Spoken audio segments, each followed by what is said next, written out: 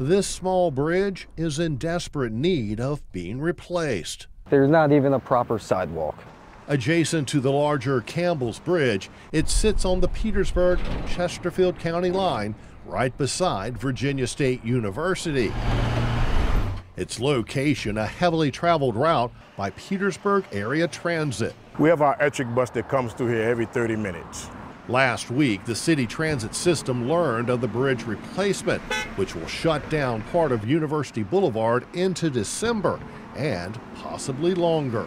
We're losing about probably 15 minutes. So to reroute the bus, the normally 30 minute route will now become an hour long due to the detour. What we've done is we are going to go through um, downtown Petersburg, parts of the city of Colonial Heights to be able to get all of our citizens in the Ettrick area, the Virginia State campus, um, a lot of the individuals of the uh, Food Line area, um, along with our Carriage House residents.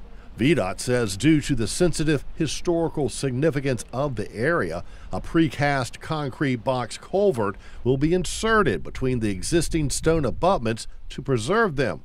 The road closure also means time on the bus will now take longer. A little inconvenient, but we'll be servicing a lot more areas in the downtown area. For Chris and Dawn, who recently found the Appomattox River Trail, it's our second day coming down here to this spot specifically. A replacement bridge is something they hope will be an added benefit to the area. I think even in the area too, it might make it a little more jazzed up, especially with the school and everything right next door. While the bridge replacement is expected to wrap up in December, the shorter route is expected to return, but there's always the chance it may not.